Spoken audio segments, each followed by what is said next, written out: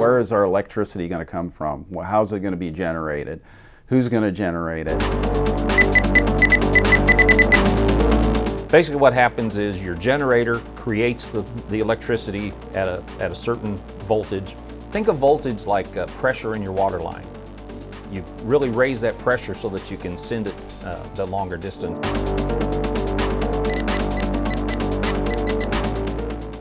Independence Power and Light is uh, a department of the city that serves electricity, you know, to uh, all the customers in Independence. The Southwest Power Pool is a 14-state um, cooperative, uh, best way to describe it, and they take all that power that's being generated, they monitor all the demand across the whole 14 states, and then they, they take care of balancing that and adjusting generation. What Southwest Power Pool does is they look across the region, they see what units are available, and they will schedule those that have the lowest cost.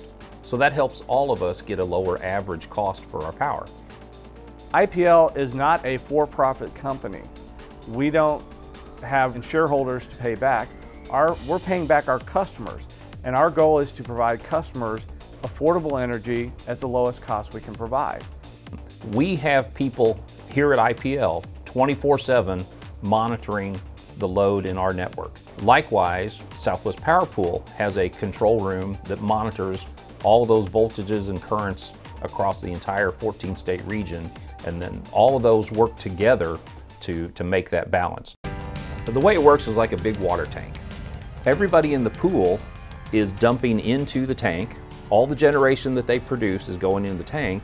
And then Independence has a spigot that's, that's where we draw our power from. So it may be, if you, if you actually got down to the electrons, it may be that we're using the power we generate. But in, a, in the real sense, it's all going into the tank and then we draw off only what we need. So one of the big things that comes out is people say, our units aren't running. So we're not getting any energy for ourselves, we're not producing it. You know, that's not a good thing. Well, the advantage of the power pool, it allows us to take advantage of these resources that are out there that are uh, more cost effective than ours to keep our rates lower.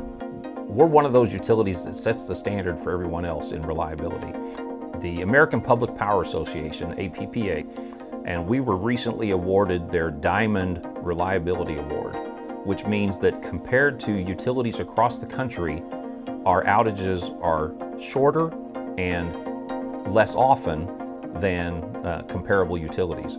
Our engineering staff and our transmission and distribution crews they're out there doing the job to keep the system uh, in good shape. But also, when there, when there are those problems that pop up, our teams are out there quickly and they, they understand the system, they know their jobs, and they get it back online uh, quickly as they can.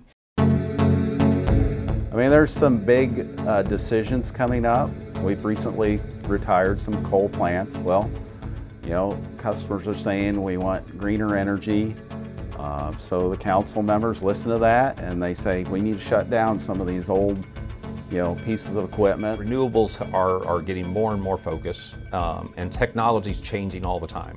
We fully expect that there's going to be breakthroughs in battery technology. There's going to be breakthroughs in solar generation technology. We have a pretty good mix right now. We, we buy energy from outside the city. We also produce some of our own energy. Um, we're buying we have wind, we have solar, um, so there's a pretty good diversified mix. I think our job is to be positioned so that we can take advantage of whichever developments come along.